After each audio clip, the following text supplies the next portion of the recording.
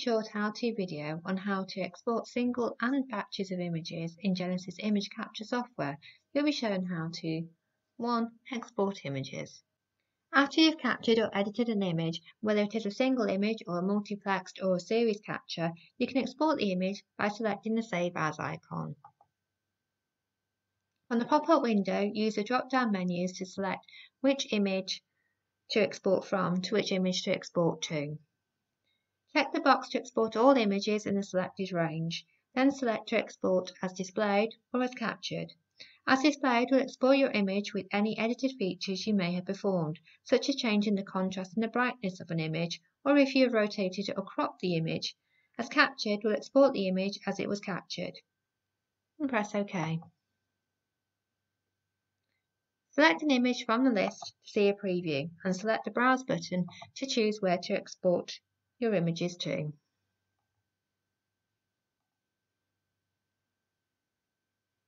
To save time when exporting images, check the box to remember the path.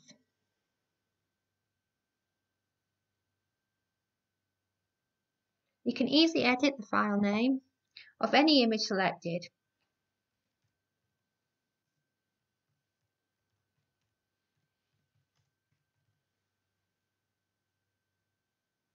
And if you change the file name of an image that has sub-images associated to it, GeneSys will automatically change the file name for all the sub-images too. You can export your images as TIFF, BMP or JPEG file formats. Select your preferred file format from the drop-down list. This can also be selected as a default setting in the Settings menu. For publication purposes, you can adjust the bit depth on the DPI of TIFF images. Press the Export Selected button and a Data Report pop-up window will appear, which can be exported as a .text for reference only.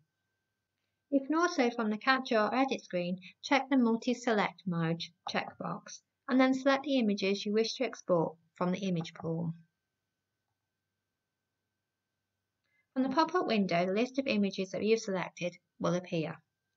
Check the box to export all the images in the selected range and then as displayed or as captured.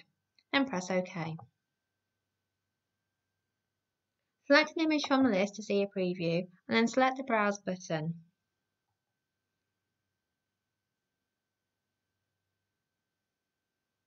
To choose where to, where to export your images. Save time when exporting images, check the box to remember the path. Press Export Selected button